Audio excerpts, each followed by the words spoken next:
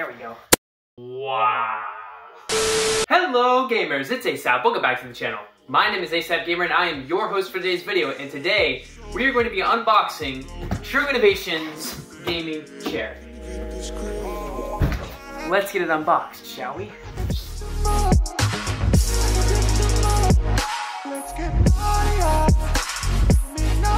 Alright gamers, just like I said just a few seconds ago, we're going to be unboxing the True Innovations gaming chair. So, let's go ahead and uh, get our trusty knife. Boom. Got our trusty knife here. and We're going to just cut this open and see what's inside. Got this at Walmart for $100 and uh, hopefully the price is worth it because my other option was to get another chair that was $130 and uh, decided to go with the cheaper one. Hopefully my decision pays off, quite literally. And just a disclaimer, I am not sponsored by True Innovations or Walmart for this gaming chair. This is a personal review. Cool? Cool. Alright, so now that it appears that we got all of the taping cut, just kidding, no I didn't. So now that we got the tape all cut up, let's go ahead and open up the box and see what's inside. Oof, a little do not return notice. That's not always a good sign, but this chair didn't even come with any kind of warranty, so it's whatever. So we're gonna be removing this slate of cardboard here. Let's go ahead and put that to the side. And then we've got some bubble wrap with uh, what appears to be the armrest. Yeah, this is one of the armrests here. We're actually gonna put that over there, get that ready for assembly, assembly and a more bubble wrap holding the other armrest. Oh wait, no. These look like, yeah, this is definitely an armrest, yeah. And then we open, we take off, uh, let's see here. What's easiest to grab? Okay, so here are the wheels for it. We're gonna put those on in just a moment.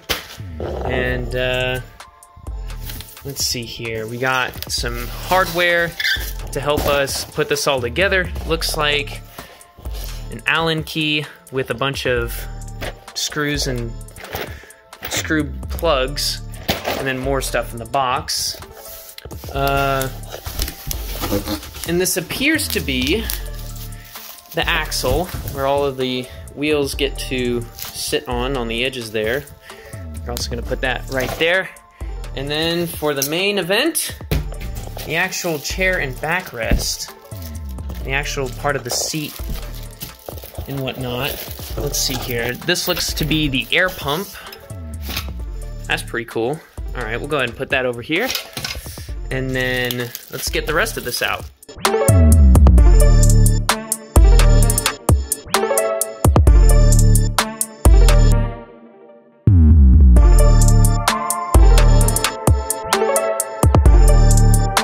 Okay, so now that we got all the parts of the chair out of their packaging and ready for assembly, let's go ahead and get into the assembly time lapse. Ready and go.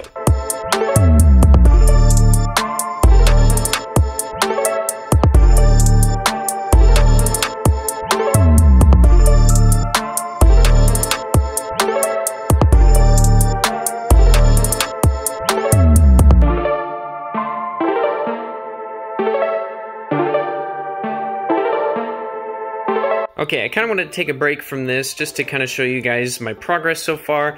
So we've gotten the wheels on the stars thing here on the axles, and we were able to get that all assembled up. And uh, we even got the air thing in here. Um, that wasn't supposed to come off like that, but that's okay.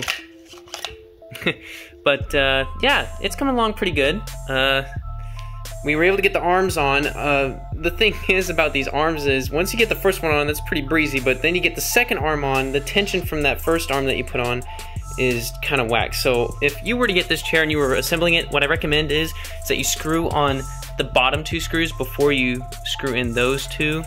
Because, um, yeah, I ended up having to take one of the top screws out because I started out from the top thinking it would be better that way, but no. Start from the bottom, go your way up.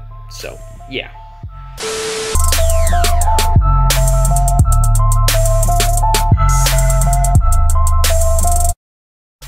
Alright guys, and here is the finished assembly of the chair. I decided to take to just remove these because they were a little finicky and they look, and they feel and look cheap as hell. So I don't really need those that much. So we're just gonna discard those and take a look at this.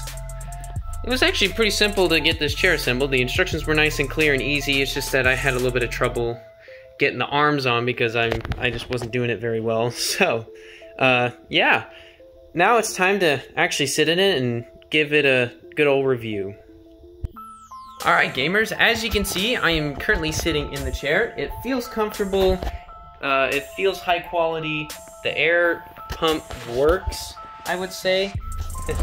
so, uh, yeah, you just pull the lever. Well, let me get up first. You just pull the lever, and then just sit on it again to bring it down. Just like that. And it's nice and fluid with the going up and down parts. So, every moving part works. The wheels, they don't squeak at all whenever I move the chair around. And I feel like I could game in this chair for hours and hours. I mean, it's got good lumbar support. Um, my one gripe about this chair is that it's kind of short in the head. I mean, it doesn't really have a designated headrest, but um, it would be nice. Yeah, it would be nice to have something to lean my head back on, but I mean, my previous chair doesn't have that kind of option either, so it's not a big deal. It's just that, you know, I'm six foot three, and sometimes I like to like lean my head back sometimes, but other other than that, I have no other complaints about this chair. I mean, what's really cool about this is that you can put the armrests up like so, and you can kind of have a little bit more freedom with where you put your arms. So, but I mostly keep the armrest down because, you know, it's just more comfortable. But, um, yeah. It's a good chair. For the money, it's a good chair.